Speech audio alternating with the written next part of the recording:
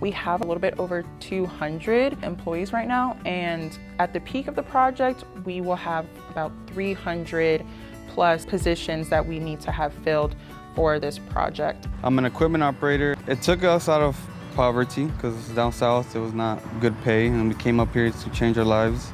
Seeing some of the younger people grow in their career, I mean, that's that's probably the coolest thing for me at this point. Some vacancies that we are hoping to fill are common laborers, operators of different machinery, so loader operators, excavator operators, dozer operators, things of that nature.